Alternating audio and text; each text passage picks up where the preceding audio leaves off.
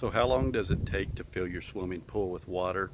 If you've just replaced your liner and maybe you're refilling your pool or you have a new one, you may be wondering how long is it going to take to get the water filled back up?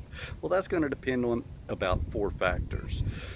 The width of your pool, the length of your pool, the average depth of your pool, and of course the flow rate, the water pressure you have.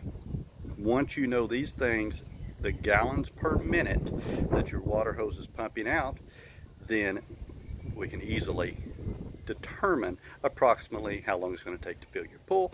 And I'll send you to a website where you can enter that data in. So first, what is the length of your pool? Now, if you have a circular pool like this one, the width and length are going to be the same thing. Now, since this is a 24 foot round pool, the width is going to be 24 foot and the length is going to be 24 foot. However, if you have a rectangle pool, your width and length may be different, such as 20 feet by 15, 24 feet by 10. It could be various things. Once you know those two things, then you'll be good to go. If you have multiple length and widths, then you just kind of got to average that together. Next, determine the depth of your pool. Now in this pool, it's the same all the way around. This is a 52 inch pool, which fills to about 48 inches to the top. If you have a pool that has multiple, like a shallow and a deep end, you need to average that. So for example, if you have three feet in the shallow end and eight feet in the deep end, maybe your average water depth is six or seven feet, and that'll be your uh, average water depth. And last, we need to know your water pressure.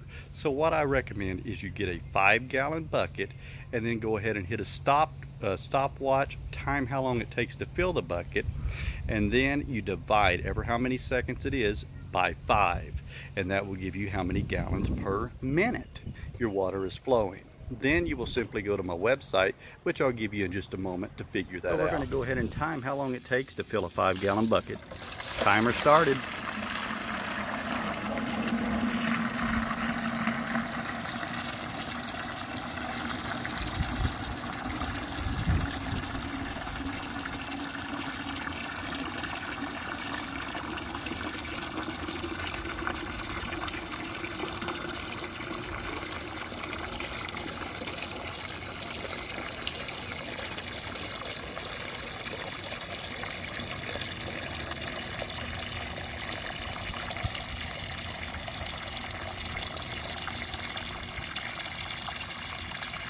And time.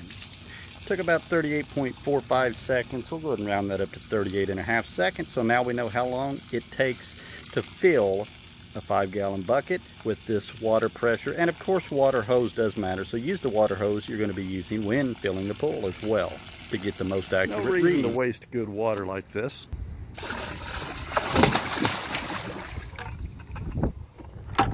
Go ahead and join me as I go to the computer and I'll tell you what website to go to. We're going to enter the data and find out just how much time it's going to take to fill the pool. Now, go ahead and type in easyclearpool.com slash fill calculator in your web browser and bring up this nice page telling you how long it's going to take to fill your swimming pool. It's got some nice information you can read about the one gallon method, the five gallon bucket method, a little bit about your gallons per hour, but if you scroll down a ways, you're going to find a pool calculator, and this is where we need to be. Whatever you uh, filled your five gallon bucket and the seconds were, you need to divide that by five, and that's going to get your gallons per minute if you used a five gallon bucket. So it took 38.5 seconds, divide that by five, and I get a number of 7.7 gallons per minute. So you'll put whatever you got based on how long it took you to fill the bucket divided by five in that field. Next, enter your length and width. If it's a circular pool, it's going to be the same most likely. Mine is 24 by 24. Then enter your average water depth in feet. So my average water depth in feet is about four and a half feet. So you'd type in 4.5. You're going to get your gallons per water. or gallons volume of water and how long it's going to take to fill the pool with the water hose tested with the five gallon buck method. And this should be pretty accurate. It's showing 15,292 gallons of water. That'll come in helpful whenever you're adding chemicals. You'll know how many gallons of water is in your pool. You're also going to know if it's empty, how long it's going to take to fill your pool right at 33 hours. That's more than one day in my backyard to fill that pool. And if you have a much larger pool, it could take multiple days. And if you have a much smaller pool, it could take less than one day. You could also add a second water hose. It might increase just a little bit. You can test that with the five gallon bucket method if you have two hoses and see what your new gallons of water per minute is. Of course, That's pretty much it. Now you also get some other advantage out of this because knowing the volume and how many gallons is in your pool, it's going to help you make easier decisions whenever adding whether you're using the bleach formula, whether you're using chlorine, needing to adjust your pH and alkalinity levels. By knowing the volume and gallons in your pool, it's going to help you make decisions when it comes to adjusting particular chemicals and adding it to your pool.